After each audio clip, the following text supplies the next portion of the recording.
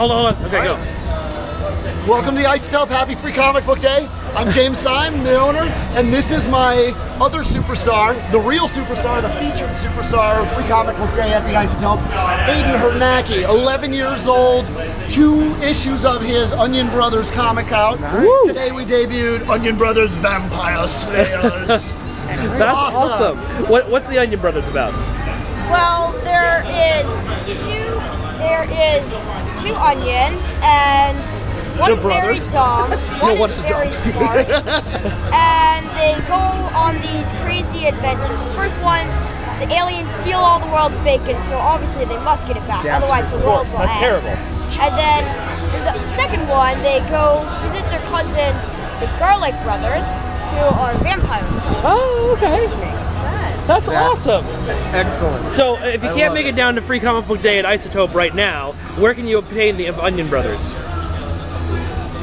Let's see, do you guys sell Onion Brothers on your on your site or something? You can buy it at, at the Isotope. Okay. Um, we know that one of your big fans of your of your Onion Brothers from last year is who's your big fan? Well, besides me, no, Loki, Tom Hiddleston, Oh, right? wait, sorry. no, oh, Hold on. Captain Jack, you mean? Oh, Cap- it's Captain oh. Jack. Oh, I'm Captain sorry, I got it all wrong. Yeah, Oh, where's okay. that video? There's a video of him talking about how much he loves it. Awesome. You guys have to get that to me so I can put it on my website. Yeah. Yeah, I'd love to see that. Famous. Cool. So yeah, that's you can get this at the Isotope, So- and I don't know, you guys can. There you He does? go. All right. Well, what's what's the Facebook site? Facebook.com slash Onion Bros. That's really easy to remember. All right. Well, thank you very much. We're looking Thanks for forward to reading the Onion Brothers. Of course. Hi, I'm Jared with the Ace of Geeks podcast. We're here outside of Isotope. Um, let, um, what, well, first of all, why don't you introduce yourself? Because this is quite an honor. Uh, well, my name's James Williams III, and I've been working in the comics industry for over 20 years. And my current project is Sandman, Neil Gaiman. Excellent. How's that going? Oh, good. I mean, it's a dream project. so- Okay. No pun intended, but yeah, Yes. but absolutely a dream project. When do you think we might be able to see uh, that on shelves? Uh, well, issue two is out now. Oh, okay. If you're holding that right now, This right here? and Sorry, a uh, little starstruck. yeah, and then issue three will be out uh, relatively soon, as soon as possible. Cool. How did you get involved with Sandman?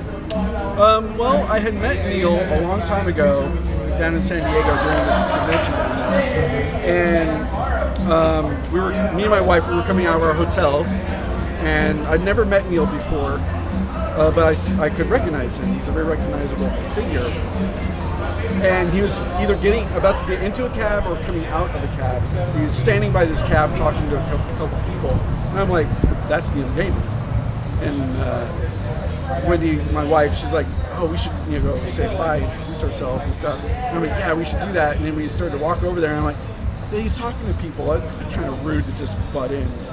And um, he, uh, so we turn around, and walk another 30, 40 feet, going in the other direction, and then I just stopped. I'm like, "No, I have to go shake Neil Gaiman's hand and say, I love his work." you know.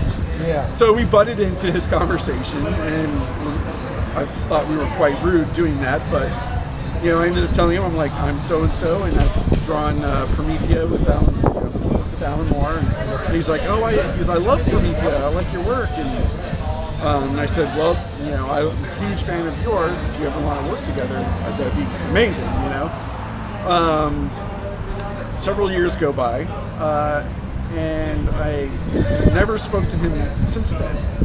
But then I get this email from Vertigo Comics, Karen Berger, when she was in charge of Vertigo, spelling out this long letter about this new Sandman project, and that Neil has asked for me to do it. Wow. And, and so, of course, you know, that- came while I was working on Batwoman still.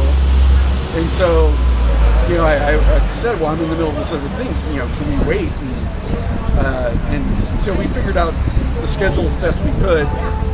And um, allowed me to finish up what I was doing on Batwoman as best I could as far as art. And I would stay on Batwoman as a writer and then move my art duties over to working on Sandman.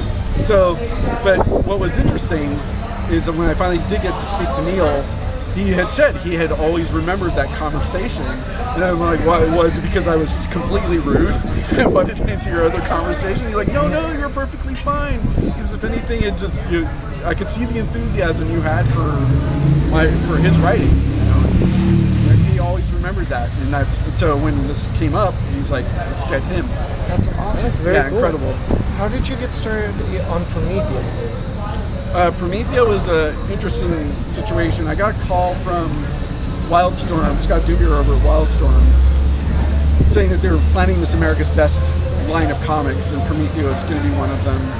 Um, that they had actually already spoken to several artists at the time, people way more popular than I was at the time. And he was honest with me about that. And he says, "You're not, he's like, you're not my first choice." He says, "But uh, you know, you've been recommended to me from you know Alex Ross and Todd Klein. So he says, can you send me photocopies of stuff that you're really proud of and happy with? So I sent him, you know, a huge portion of Chase comics and uh, Son of Superman comics, the graphic novel. I did a bunch of stuff that I felt was Mr. Williams, it was a pleasure. pleasure that was unique enough that that I hoped you would find interesting. So I sent that sent that off, and then a few weeks go by, and then Wildstorm calls back and he says, "Alan loves what what done here." He says, "You're the guy. You want to do it." Wow. You know, and that was like one, another one of those things, especially at that point in my career. You know, I was struggling still to, you know, prove myself and so on. And for someone like Alan to see something in me was enormous. You know, uh, changed my changed my life really. Oh, I'm did. sure. Something like Promethea is just incredible. Oh, The thanks. storytelling on it. I, if I bring my copies of Promethea back here, will you sign them? Absolutely. Oh, thank you so much. course. It is my favorite Alan Moore comic. Oh, great. I, Thanks. it's like, I didn't know that walking into Yeah, this I know, that's really until, cool. Like 10 seconds right before, when I noticed your name tag, and I was like, should I bring this up? Um, the, how- sweet, the sweetest thing about getting that job, well, not the sweetest thing, but one a very gratifying thing besides getting the job in the first place, is I was, I was about, I don't know, into drawing issue six or seven at the time, and Scott Dunbier uh, over at Wildstorm, you know, emailed, called me back, and he said, you know, I just got to tell you, you know, um, you know, you were my first choice. He says, but now I can't see anyone else oh, that's drawing wonderful. Promethea. That was so great to hear that because you know I really you know that's what I had set out to do was to make something very singularly unique to itself. It really was. Did you do any occult research to get any of that imagery down? There's a lot of research involved. Um, fortunately, I you know I did a lot of it myself, and my wife did a lot of it too. Of course, speaking with Alan and stuff. But I did have a, an interest in the subject well before that ever came along. So from an occult metaphysical point of view, it's very fascinating that Oh, that yeah. project came along Right. because I was already interested in it. So it's like, of course, that would be the project that would come along and allow me to grow. A lot of things You know. with that comic worked in there. There, especially the training scene was very meta. Oh yeah. yeah. Well, it was amazing to meet you. Thank you. And I actually, I'm pretty sure you're actually, we have this thing on the show where we give out a weekly Ace of Geeks award that nobody ever notices. I'm pretty sure you're actually one of our past honorees because Yeah, when the think so. Batwoman thing happened, we gave you guys one for, for the way you guys handled that. We really, Oh, really appreciate it. I think that. I think that was really, really cool. Cool. Yeah, really, really awesome. Yeah, we So- loved working on Batwoman. It was, you know, again, it was another very personal project, and I think we ended up having something important to say. So Yeah. yeah. Cool. So how did you end up being the shop boy today at Isotope? Well, I've known James for quite a few years now, and he uh, he got this idea to. Um, I guess he was out shopping for records on Record Store Day. and He saw that some of the shops actually had surprise musicians in, acting as if they were there to help Yeah. employees. And he's like, he called me up. He's like, "Hey, I got this idea. You want to do it?" And a I'm good like, idea. "Yeah, sure. Why not?" He's like, "We won't tell anyone. We won't tell anyone that you're going to be here, and they can. It'll just be a surprise." Are you running into a lot of people who have our reaction? Uh, oh my Yeah. god! yeah, there's been a few people who are like, no, this is not for real. As I'm ringing up their comics. you Yeah. know, looking at register. no, I, I drew that. That's awesome. Incredible. Well, um, would you ever feel comfortable? I don't know if you live around here, coming on our podcast and doing an interview. Um, I live about two hours from here. Okay. I see. we also Skype. I, I'm such a luddite. I'm Okay. terrible with Skype. I but, understand. okay. Um, but you know, maybe one of these. If, if I do a signing anytime in, in the future, Please let me here, know, 'cause I'd love we to can get maybe to preset meet something Yeah. because I'll be be in the area. Okay. It'd be great. Cool. Well, thank you so much. for your time. Sure. Thank you. Really great meeting you. Great to meet you too. Yeah. Thank you. Thank you. Have a great day.